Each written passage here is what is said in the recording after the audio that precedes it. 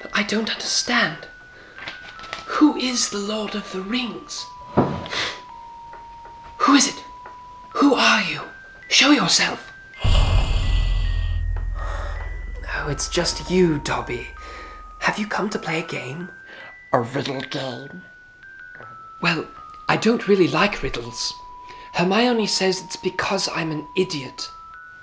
Yeah. Okay, here's an easy one. You ready, Precious? I'm ready. Okay. Knock knock. Avada Kedavra! Really? Avada Kedavra? Someone's at the door and you just. You wouldn't know anything about it. Ever since I was a boy, my life has been in danger. In the fight against you know who, I've lost my pets, my friends, and even my parents. Ah, that's bad. No, that's real bad, Precious.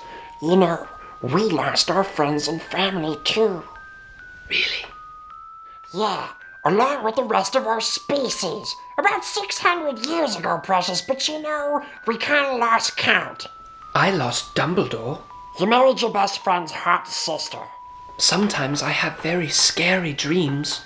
You don't know pain. No, you don't know pain. Oh, okay, Precious, what are we in middle school? I don't know, Dobby. Could a middle schooler have solved your riddles so quickly? You never solved anything. We just, we said knock knock, and then you said Ragnar, he's blasted whoever was at the door, and, and there wasn't even anyone at the door, and you didn't even know it was a riddle. I knew it was a riddle. No, I was joking, Dobby. whatever.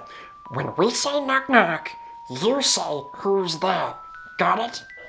Got it. Okay. Knock knock. Kedavra! No, Dobby, it's Death Eaters! Kedavra! No. Knock knock. All right, all right. Who's there? You know who. You know who what? What? You know who what? What? God, we hate you.